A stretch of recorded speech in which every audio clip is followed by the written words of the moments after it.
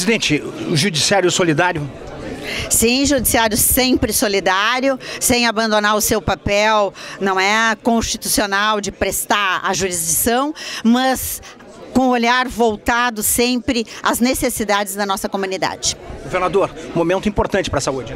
Sem dúvida, e uma construção muito bem feita. Né? O Judiciário disponibilizou uh, recursos muito expressivos, são 150 milhões de reais disponibilizados, e, e com uma disposição de construir o, uh, o direcionamento desses recursos uh, com critérios técnicos, objetivos, né?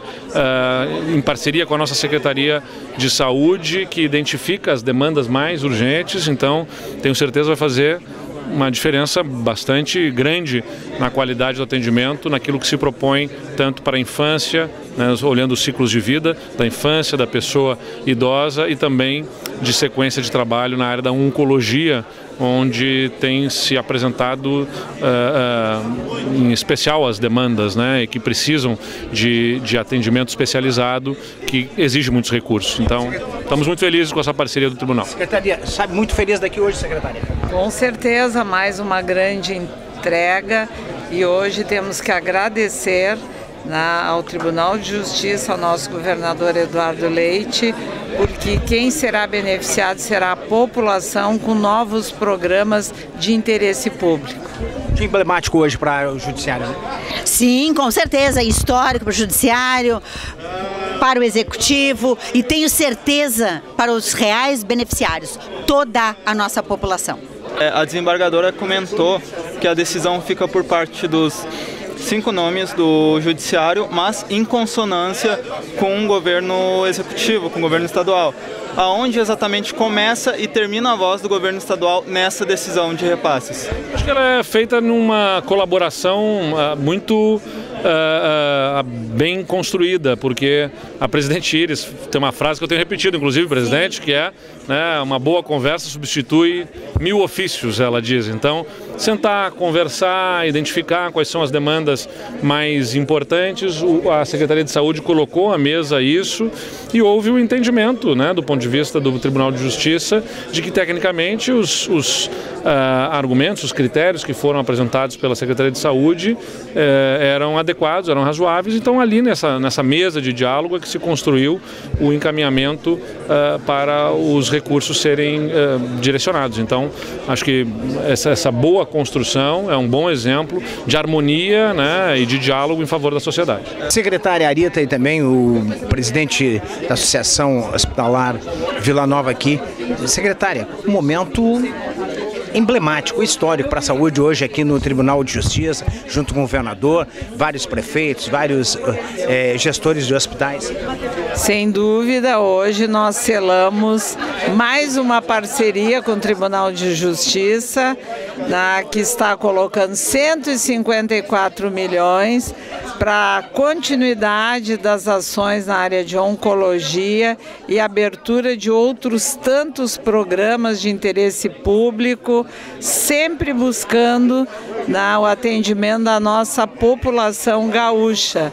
Então é um dia de celebração e de agradecimento ao Tribunal de Justiça, de agradecimento ao nosso governador Eduardo Leite, porque de fato a saúde é prioridade no nosso governo presidente e médico, eh, doutor Dissel Dalmolin, o Judiciário Solidário, hoje o governador aqui, graças ao governador, graças à, à secretária Arita, eh, vocês conseguiram abrir o centro, o centro de oncologia eh, lá no Vila Nova e hoje aqui parece que a notícia hoje do dia é que vai ter continuidade esse, esse momento do Judiciário Solidário, não é isso, doutor? A gente fica feliz com essas notícias Segunda-feira começa a funcionar o Centro de Oncologia e estamos felizes também que o Hospital Nosso de Itaquara Bom Jesus, em termos de desempenho, foi o terceiro da lista.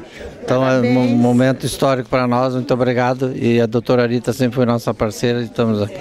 Nesse novo planejamento, nessa nova verba, tratamento de feridas é uma das nossas especialidades, vamos se habilitar. Obrigado. Rita, secretária, nós comentamos aqui que a senhora e o governador estão fazendo um milagre na saúde, porque nós tínhamos uma saúde, além de precária, eh, não tinha condições de manter, às vezes, o salário dos médicos. E, e vocês estão fazendo assim um verdadeiro milagre. Sai muito feliz hoje daqui?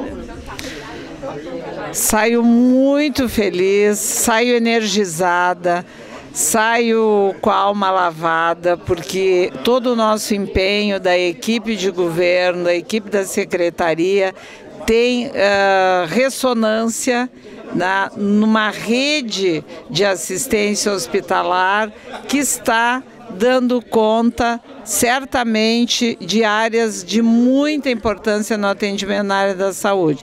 A gente não pode dizer que tudo está resolvido e nem podemos dizer que não temos problemas. A gente pode dizer que a união de esforços dos, uh, dos poderes, a união de esforços com toda a rede de assistência está fazendo o melhor possível para garantir acesso à população. Então, os resultados estão aparecendo e hoje é só gratidão por mais essa etapa vencida. Doutor Damolim, tudo que o senhor viu hoje aqui do governador do estado, da presidente Iris Medeiros, da secretária hoje, sai motivado, sai é, com um sentimento de transformação e sai oxigenado para cada vez lutar mais pela saúde? Oxigenado, motivado, feliz e vamos ao trabalho. Tem notícia aí de, do Hospital Santo Antônio aí? Vamos inaugurar a emergência essa semana, né, doutora Rita? Estamos aguardando a agenda da doutora Rita. A reforma da emergência de Santo Antônio. Só notícia Sim, a, a reforma, na né, recurso do governo do Isso. estado, do programa Avançar, a emergência está concluída e nós sempre orientamos, conforme preceito do nosso governo, que se a obra está pronta, ela deve ser colocada em funcionamento o mais breve possível. A inauguração é um ato que pode acontecer a qualquer momento, mas o que se prioriza é a operação da, do, do, da nova emergência lá no Hospital Santo Antônio da Patrulha. Por tudo que nós vimos essa tarde aqui, que o universo conspire cada vez mais a saúde dos gaúchos. Obrigado. Obrigado. Obrigado. É que no planejamento estratégico do nosso tribunal, instrumento pelo qual ele estabelece os objetivos a serem alcançados na busca da excelência. Consta, dentre outros, o programa Judiciário Solidário. Além dos valores destinados no biênio 2022-2023 para a área da saúde, nós também destinamos para a educação, segurança pública e para o enfrentamento da fome. Integramos e hoje renovamos, nós estivemos na Assembleia pela manhã renovando a nossa participação no Rio Projeto Rio Grande contra a Fome. Foram doados somente neste ano, 2023, mais de 6 mil impressoras, quase 10 mil itens de mobiliário, 10 veículos, quase 2 mil computadores e cerca de 1.500 monitores, contemplando escolas, hospitais, órgãos de segurança e entidades públicas. Pois bem, senhores, senhoras, a justiça não só enxerga, mas também ouve as demandas e as necessidades expostas pela secretária Anita Bergman, assim como hoje em visita anterior pelo provedor da Santa Casa de Pelotas, Dr. Ângelo Fernando Ortiz da Silva. Da mesma forma, recebemos, ouvimos a presidente do Hospital de Clínicas de Porto Alegre, doutora Nadine Oliveira Clausio, da diretora do Hospital Vida e Saúde de Santa Rosa, doutora Vanderlei de Barros, e principalmente ouve a justiça ouve os maiores interessados, os efetivos beneficiários da ação. Hoje, aqui representados pela senhora Jennifer Bruna Lopes Bruschi, paciente do Hospital Vida e Saúde de Santa Rosa, que foi diagnosticada com câncer de útero em maio de 2023 e está realizando quimioterapia no hospital. O mesmo propósito que vem nos norteando. Agora, desta feita, o anúncio do repasse, senhor governador, senhora secretária, era um total de 154 milhões 705 mil 923 reais 56 centavos ao Poder Executivo.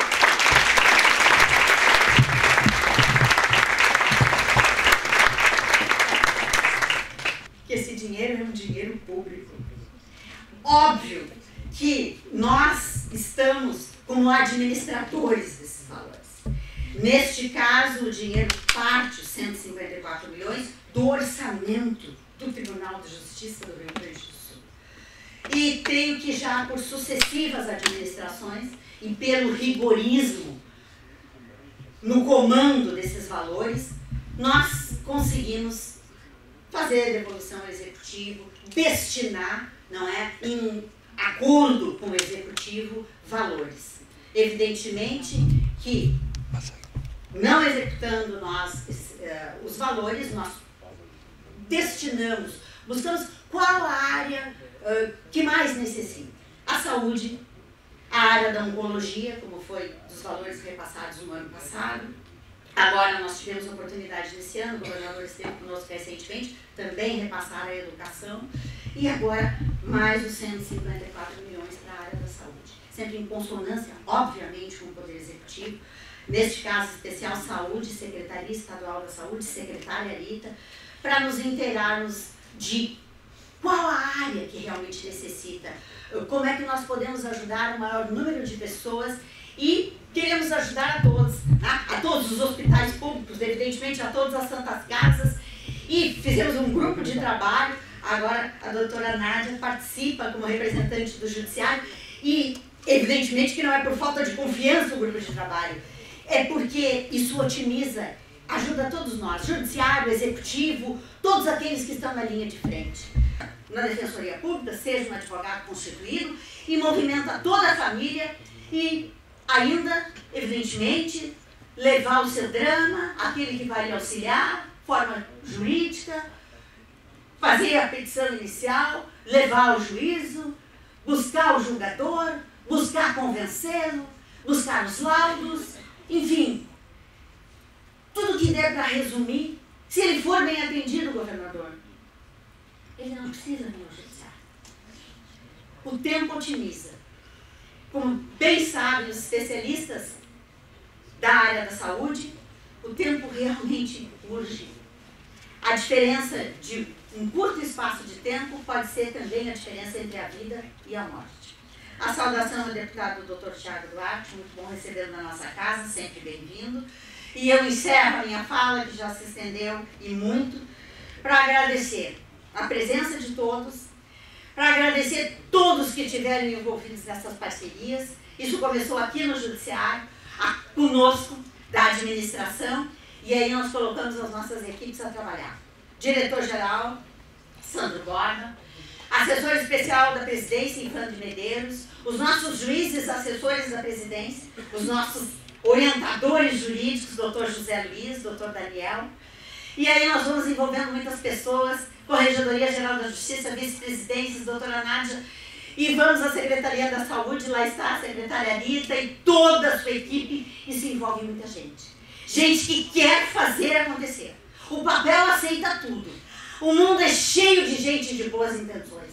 Agora, realizar ouvir um depoimento de quem recebeu ajuda por tudo isso, realmente nos faz melhores enquanto seres humanos. É também gratificante para mim, como governador, como gaúcho, sempre circulando pelo nosso Rio Grande, visitando os nossos hospitais, o que vocês, muitos de vocês sabem, faço antes de ser governador, antes sendo candidato a governador, passeando pelas né, pelas localidades, é, sempre fiz questão de visitar o hospital, né, de conversar com os dirigentes na área da saúde, porque, como se falou tantas vezes aqui, é, é, é falar sobre a vida das pessoas, é falar sobre o momento de aflição, de dor, de sofrimento e, portanto, de onde o Estado precisa se fazer presente, o Estado, o poder público, né, lato senso, para acolher e atender uh, aos dramas da, da, da vida humana.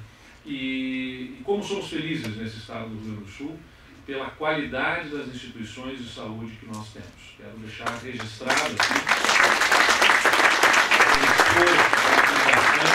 nós sentimos isso especialmente, desembargadora Iris, na pandemia. Né? A resposta rápida que se pôde dar aqui no Rio Grande do Sul, em, em expansão da nossa estrutura de atendimento, de atenção hospitalar, uh, num momento crítico da vida na Terra, né, no planeta inteiro.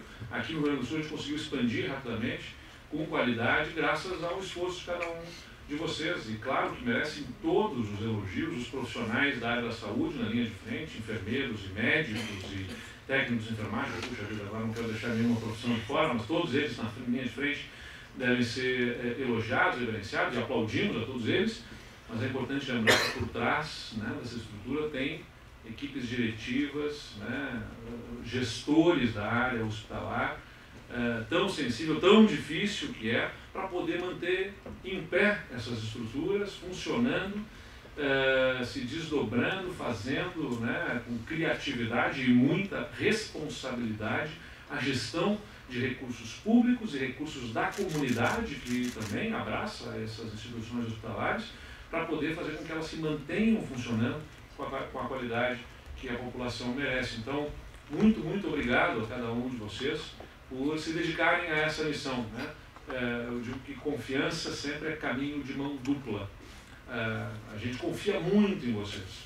No trabalho das nossas instituições hospitalares, é uma característica do Rio Grande do Sul, especialmente, ter uh, a saúde pública atendida especialmente por hospitais contratualizados, hospitais de santas casas, de beneficência, de caridade, enfim, instituições sem fins lucrativos, instituições filantrópicas que reúnem uma, uma parcela da sociedade que se mobiliza. Aqui uh, o Ângelo falou justamente sobre né, não ter salário e boa parte né, dos uh, gestores, dos diretores não, não são remunerados, mas é importante lembrar, no final das contas, custa dinheiro fazer saúde, né? custam os equipamentos, custam os medicamentos, os insumos e todos os profissionais, por mais maior que seja a abnegação, que seja o sentimento de serviço à sociedade, né, precisam ser remunerados justamente pelo que desempenham. Então, tem que fazer obra, tem que modernizar, tem que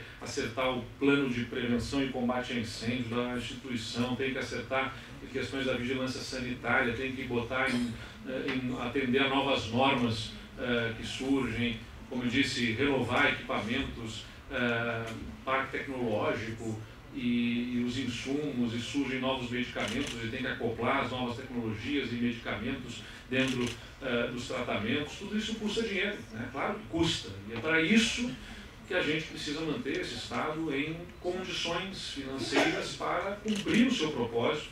Nós estamos aí numa grande batalha para fazer com que a sociedade gaúcha entenda, não apenas os deputados, mas a sociedade gaúcha entenda os movimentos que nós estamos fazendo em relação à arrecadação do Estado, porque é muito bom e muito importante saber que nós temos uma justiça que não é cega, presidente, e um judiciário que não é insensível, né? um judiciário que é solidário, que tem uh, a compreensão uh, de estender, uh, um grande esforço também dentro do seu próprio orçamento, recursos para atender diretamente em políticas públicas que o Estado deve prover para a sua sociedade, mas nós precisamos contar com a regularidade desses recursos, e por isso que a gente está buscando, junto à Assembleia Legislativa, eh, ter a compreensão dos, dos, deputados sobre um projeto de lei que, desde já, peço aqui o apoio a toda a nossa sociedade, representada pelos senhores e senhoras, eh, para que nós possamos fazer compreender destes recursos que pretendemos arrecadar mais, praticamente meio bilhão de reais é da saúde, obrigatoriamente.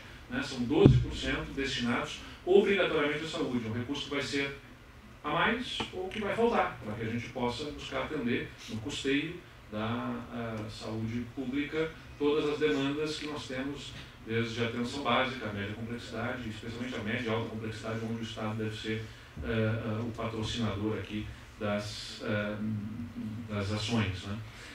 Quero fazer a saudação aos prefeitos, prefeito de Pelotas, Paulo Mascarenhas, Santa Rosa, Anderson Mantei, de Juí, Andrei Consentim, de Formigueiro, José Cardoso, Pierre Machado, Ronaldo Madruga, Lagoa Vermelha, Gustavo Bonotto, né, os prefeitos também, tem aqui a minha admiração e respeito, eu sempre digo prefeitos que concorreram na pandemia, né, imagina, no meio de uma crise sanitária, de uma campanha política no momento crítico, se apresentaram para serem prefeitos das suas cidades. Eu fui muito testado nesses últimos cinco anos. Né? Comecei com crise fiscal, depois passamos pela pandemia, depois pelo menos duas estiagens muito severas e esse ano enchentes e ciclones. Então, é, eu tenho insistido com a minha equipe, tem um ditado que diz, uma frase, uma reflexão que diz que a gente pede a Deus força e Ele nos dá motivos para ser forte, na verdade.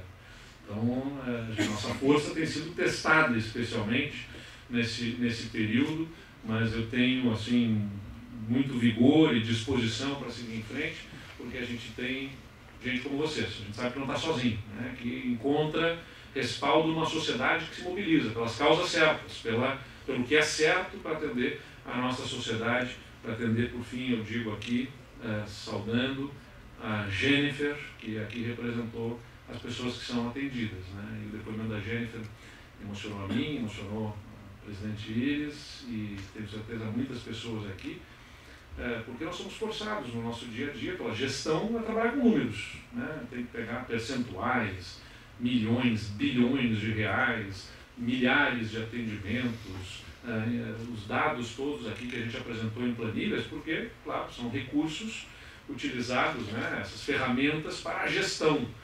Mas é muito importante a gente lembrar o que, que está por detrás dos números. Né? E por detrás dos números estão muitas Jennifers que têm a vida atingida né, é, para o bem ou, infelizmente, para o mal se o Estado falhar, se o poder público falhar. É, é, gente que precisa de governo com capacidade de financiar as políticas públicas para que nós possamos salvar vidas. Então, Jennifer, obrigado por compartilhar aqui a tua história. Nós desejamos toda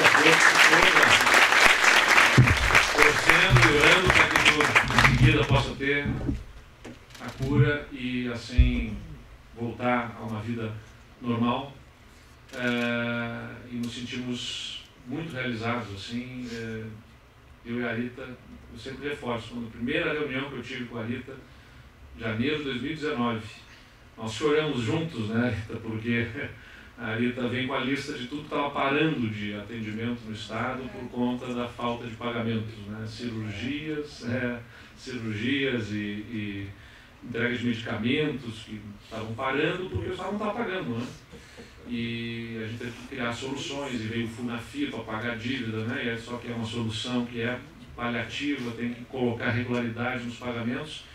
E a gente tem tido a oportunidade de se reencontrar tantas e tantas vezes para celebrar entregas, né? ou seja, não é mais para discutir um atrasado, agora a gente se reúne para discutir como é que a gente pode avançar, como é que a gente pode criar coisas novas.